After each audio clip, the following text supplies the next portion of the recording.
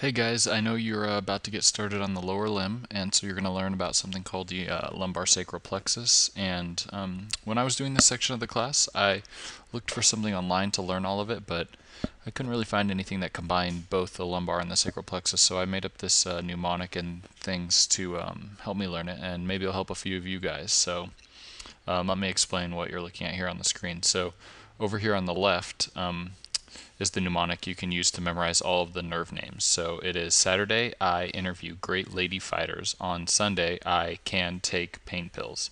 So the way I remember that is if on Saturday you're interviewing some ladies who are great fighters, then that means um, on Sunday you're going to have to take some pain medication. So it's pretty easy to remember.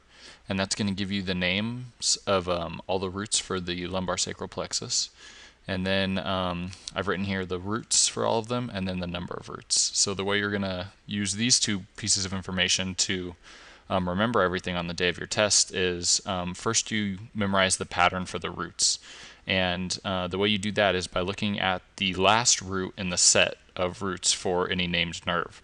So there's a pattern between those. That's why you choose the last root. So that would be, you know, T12, L1, L1, L2, L3, etc. So I've written the pattern down here for you for the last root um, for all the sets of nerves. So the pattern for that is going to be T12, L1, L1, L2, L3, L4, L4, S1, S2, S2, S3, S3, S4. So I wrote right here the easy way to remember that. Starting with T12 one time, everything else is two times except L2, L3, S1, S4. You also have to remember that L5 and S5 are not included as uh, terminal roots on the plexus at all, so those are excluded from your count here. You'll notice that they go in order, so if you just remember this little rule, it's pretty easy to remember all those terminal nerve roots. Uh, the second thing you're going to have to remember remember to uh, get all these down before your test is the number of roots that are associated with uh, each of these named nerves, and then you can use that number to count backwards from the the root you memorized um, to get all of the nerve roots. So this has a pretty easy pattern also: one, two, one, two, two times, three, four times, four, five, three, three. So if you use that information combined, you can say on your test, recall this mnemonic, recall all the names, write down the latter or the uh, last nerve root, so T12, L1, L1, L2, L3, L4, L4, S1, S2, S2, S3, S3, S4.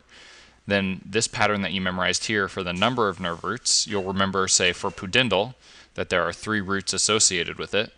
So you have S4 written down already. Now you count backwards. S4, S3, S2.